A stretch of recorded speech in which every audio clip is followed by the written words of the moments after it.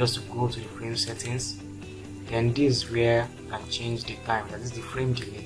So as you can see it is in 20 seconds. So I'm going to increase it to 50 seconds. That is I want it to be a little bit slow. So all to 50 seconds. All to 50 seconds then click apply all. 50 seconds apply all. So just like this. As you can see I'm done with the um, the frame delay. So I, I can also preview it to see how it looks like. I'm going to click on preview to see how it is. So as you can see this is how the colors are changing step by step. So as you can see it's very okay just like this. I want to click on stop and click ok.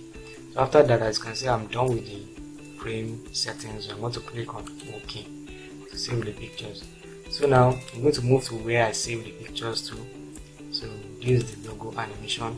So to preview an animation in your to preview an animation you, you need a browser. It's either chrome or firefox. But in this video i'm using firefox. I'm going to drag this animation to my firefox browser. Just like this. As you can see this app is changing its color. So i'm going to click on refresh to see how it looks like. So this is how to create an animation in CorelDRAW so simple as that. So you can now edit you can use it in your videos or any other thing you want to use it for. So it will just be changing its colors. So you can give it as many colors you want.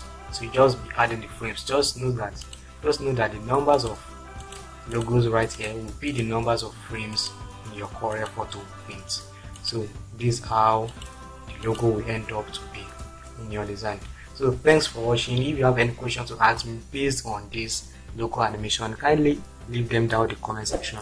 Don't forget to share this video. And don't forget to subscribe.